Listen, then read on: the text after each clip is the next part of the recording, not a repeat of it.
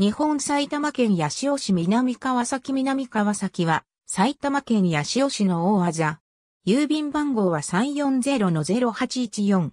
八潮市の東部に位置する。木曽根を挟み中川沿いと二丁目に隣接して飛び地が存在し、三つの区域に分かれて位置している。地区の中央部から西部にかけて、つくばエクスプレスの整備に合わせ区画整理が進められている。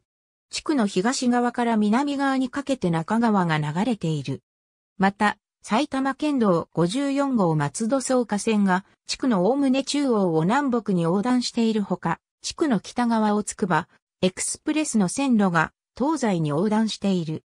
なお、地区から八潮駅までは直線距離で300メートルから2.5キロメートル程度である。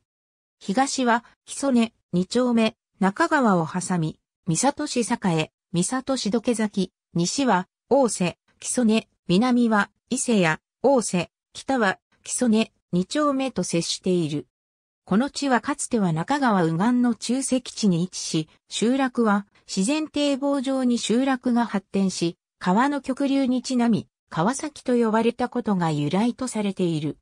なお、明治12年の軍政実施により、南埼玉郡の村になる際に、軍内に同一村名が存在したため、村名を区別するため、南川崎となった。2021年3月1日現在の世帯数と人口は以下の通りである。私立小中学校に通う場合、学区は以下の通りとなる。ありがとうございます。